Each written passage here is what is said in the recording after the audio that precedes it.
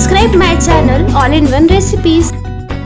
Everyone welcome to all in one recipes आज मैं आपके लिए लेकर आई हूँ मिनी आलू का पराठा, वो भी नई ट्रिक से, जिसके लिए मैंने यहाँ पर दो कच्चे आलू लिए हैं, जिसके मैंने छिलके उतार लिए हैं। सबसे पहले हम आलू को कद्दूकस कर लेंगे। मैंने दोनों आलू को अच्छे से कद्दूकस कर लिया है। अब हम इसका एक्स्ट्रा पानी निकाल लेंगे इस तरह से।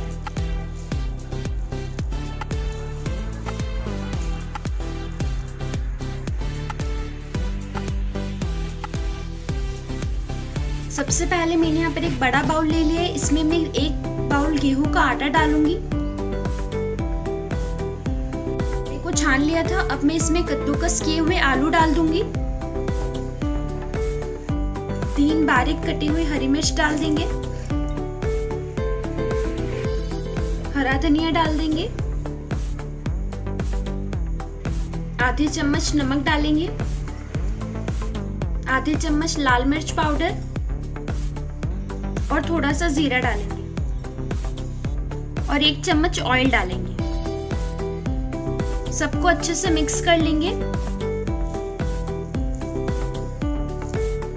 अब इसमें थोड़ा थोड़ा पानी डालते हुए डो रेडी कर लेंगे इसका। अब ये डो रेडी है, अब मैं इसमें थोड़ा सा ऑयल डालूँगी।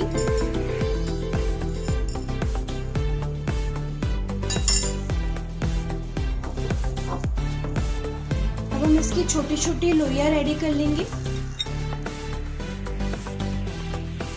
सारी लोइया अब रेडी है। अब गैस की फ्लेम ऑन कर रही हूँ। अब मैं लोहे पे इस तरह से आटा लगा लूँगी। इसे बेल लेंगे। अच्छे से गर्म हो चुका है, इसमें पराठा डाल देंगे। इसे पलट देंगे हम। अब हम इस पे ऑयल लगाएँगे। दोनों तरफ़ से हमें अच्छे से ऑयल लगा लेना है। इस तरह से दबाते हुए हम पराठे को सेक लेंगे।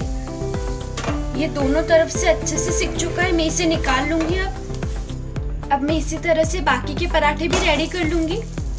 मेरा मिनी आलू का पराठा रेडी है। मैंने इसे बिना आलू को बॉईल किए बनाया है। एकदम नई ट्रिक से आप भी इसे घर पर ज़रूर ट्राई करिए बहुत ही टेस्टी लगता है।